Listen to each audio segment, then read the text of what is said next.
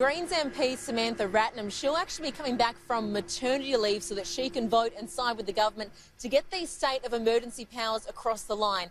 Now she joins Reason Party, Fiona Patten, as well as the Animal Justice Party, Andy Meddick, in supporting the government. Those three crossbench MPs are the numbers the government needs to get this over the line.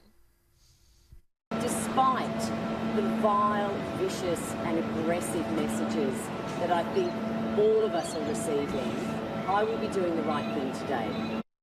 Now is not the time for party politics. Now is the time for cooperation. Now, these are the powers which enable the, the, authorities to enforce those rules all in the name of public health, things like mandatory masks and quarantine.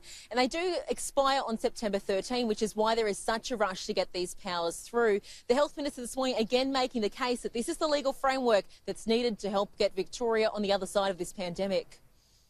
There has never been a more important bill before the Victorian Parliament than this Parliament.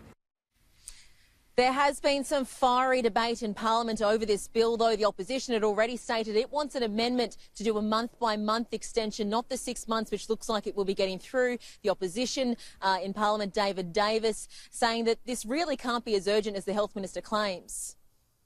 For you to argue that this is urgent is a travesty. It's a contempt of the parliament because you have had months and months and months to bring this to the parliament and then you try and bring it in a hurry because you're trying to cover your tracks. Meanwhile, Andrea, Parliament looking very different today under these new COVID rules.